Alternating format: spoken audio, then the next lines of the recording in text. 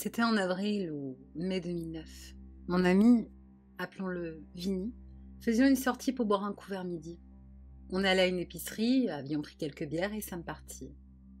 On a eu l'appel d'un autre ami, Justin, disant que lui et sa copine, Kim, allaient nous rejoindre. À ce moment, l'après-midi commençait et on était revenu chez moi.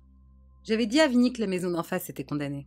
Il y avait une pancarte condamnée rose fluo parce que le garage derrière la maison s'effondrait. Je n'ai jamais vu personne entrer ou sortir de la maison depuis ces deux dernières années où je vis en face. J'imagine qu'elle était abandonnée sur le point d'être démolie. Étant enfant, on adorait explorer les bois pour trouver des trucs. Cette maison nous donnait la même idée. On était plutôt bourrés à ce moment et on s'est juste dit Oh, et puis merde, allons-y. On arriva derrière le garage, à moitié en ruine. La porte du garage qui menait à l'intérieur de la maison était fermée. Mais après avoir trifouillé un peu la serrure, on a réussi à la forcer. À notre droite, il y avait le sous-sol, et nous avons décidé de commencer là. Nous étions surpris par le nombre de choses entassées, des outils, des engins, et j'en passe. À l'arrière du sous-sol, dans sa propre salle, un énorme réseau de trains miniatures. C'était morbide. Alors qu'on était toujours au sous-sol, on reçut un appel de Justin et Kim, disant qu'ils étaient arrivés. Nous revînmes à la maison et je pris mon icône. Kim et Justin étaient excités de participer. Alors nous sommes tous revenus au sous-sol. Après avoir regardé partout, nous remontâmes à la cuisine. Encore une fois, plein de choses y étaient. Une table du coin de la salle était pleine de canettes et de bouteilles, que nous prévoyions de jeter en sortant. On fait beaucoup de recyclage dans ma ville. Nous avons pris du temps à fouiller la cuisine. Bien sûr, ça sentait mauvais là-dedans, mais rien d'anormal. Disons plutôt que c'était l'odeur normale d'une maison poussiéreuse. J'ai fait l'erreur de jeter un œil au frigo et cette odeur me donna une idée de tout ce qui avait pu pourrir dedans. Il y avait une porte qui séparait la cuisine du salon, et je fus le premier à l'ouvrir. Quand je l'ouvris, je vis un visage qui regardait ailleurs sur un fauteuil. Tout ce qui me vint à l'esprit fut que quelqu'un vivait ici et que nous étions en infraction. Je fis demi-tour très doucement et chuchotai à mes amis Merde, il y a quelqu'un ici. Et nous sommes tous partis discrètement. Une fois revenu dans mon jardin, je leur dis que j'avais vu quelqu'un assis dans le fauteuil du salon. Vinny, qui était, je crois, plus bourré que je ne l'étais, a dit Ah bordel, n'a pas plus ce droit d'y être que nous. C'est sûrement un junkie. Je n'étais pas très excitée à l'idée de revenir et faire face à un squatter. Mais je fus convaincue quand Justin m'informa qu'il devait sûrement être complètement stone et qu'il ne remarquerait même pas qu'on était là. Nous y sommes finalement retournés, mais plus en silence cette fois. Une fois dans la cuisine, Vinny fut le premier, cette fois, à ouvrir la porte du salon. Le reste d'entre nous le regardait en train de fixer l'homme sur le fauteuil. Vinny ferma la porte, nous regarda et dit C'est un cadavre. Nous le regardâmes choqués, mais son air sérieux était évident.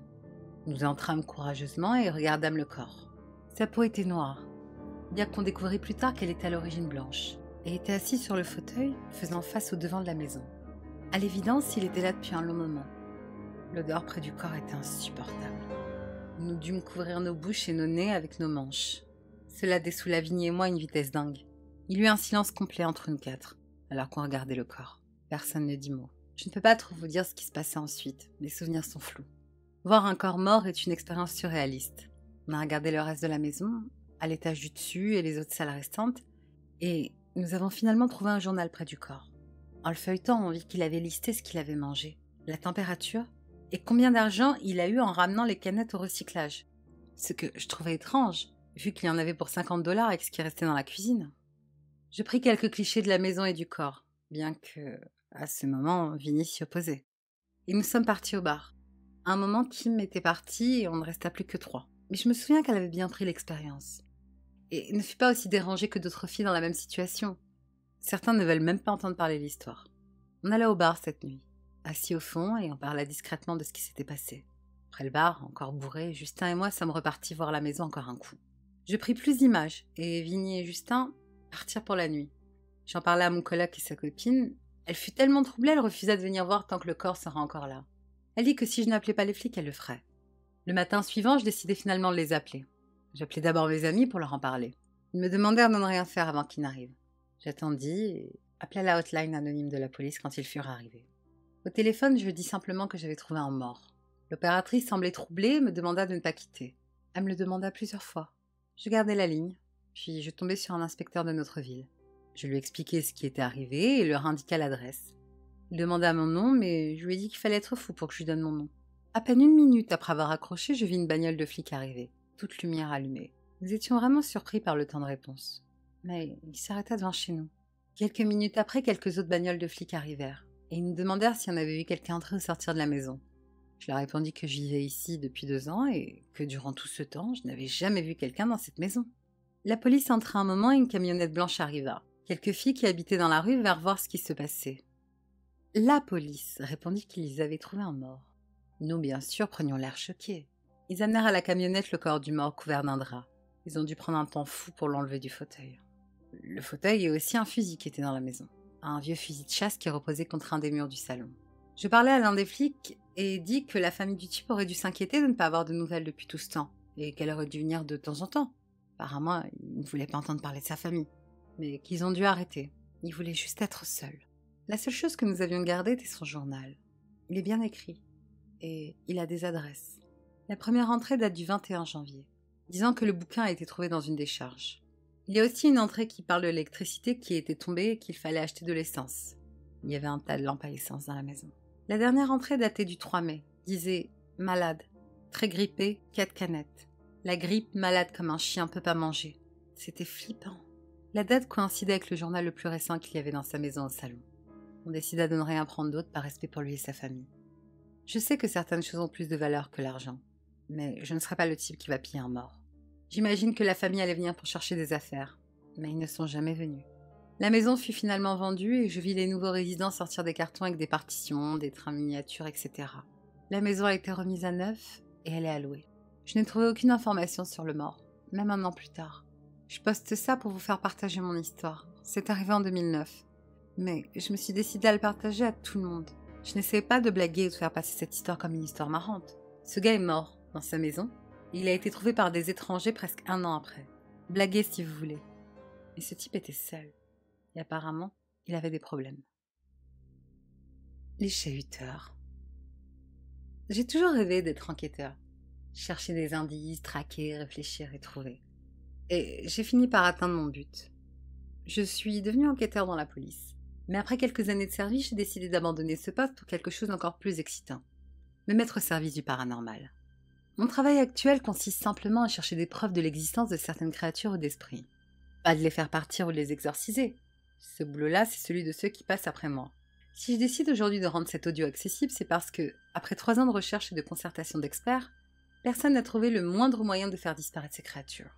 Aussi, pour le bien commun, il me semble nécessaire de mettre à la disposition de tous le résultat de mon enquête, concernant ce que j'ai décidé d'appeler les chahuteurs.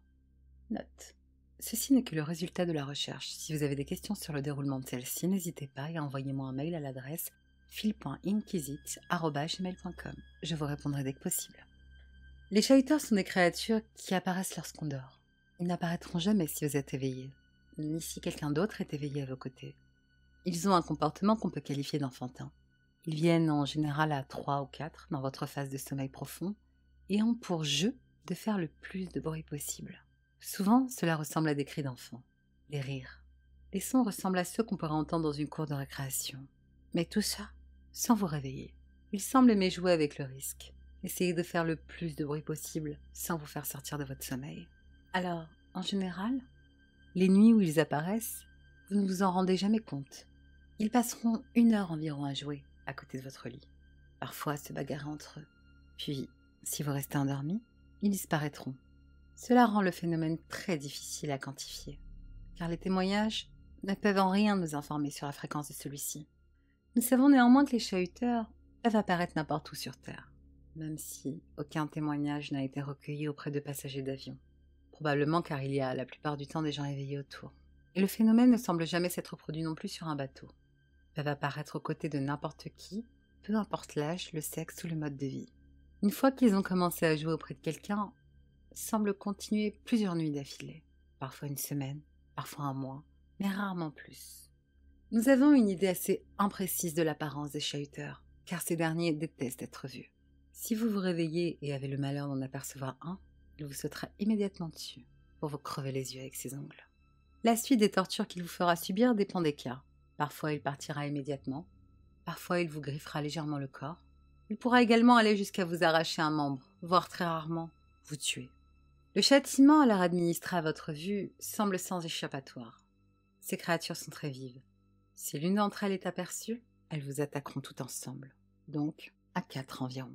Voici une description approximative des chahuteurs, basée sur divers témoignages. Ces créatures étant la dernière chose que les victimes ont pu voir de leur vie. Ils mesurent aux alentours de 80 cm, ont une apparence humanoïde avec une très grande tête disproportionnée par rapport à leur corps. Leur menton est pointu, surplombé par une énorme bouche dont deux canines sortent, au-dessus de laquelle est situé un nez, se résumant à un trou. Leur visage est également marqué par une absence totale d'yeux, et ils abordent souvent une coupe de cheveux longue qui leur couvre les oreilles et le haut du front. Leurs bras sont assez longs et leurs jambes courtes. Ils ont, que ce soit aux mains ou aux pieds, des ongles longs d'environ 2 cm.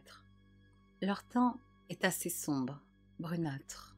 Je vais maintenant décrire une potentielle rencontre avec des chahuteurs et vous donner quelques conseils sur la façon dont vous devez réagir. Petit 1. Tout d'abord, vous vous réveillerez en plein milieu de votre sommeil. Généralement, ce sera aux alentours de 3 heures du matin. Jusque-là, cela n'est peut-être qu'une simple insomnie. Ne paniquez pas. Petit 2.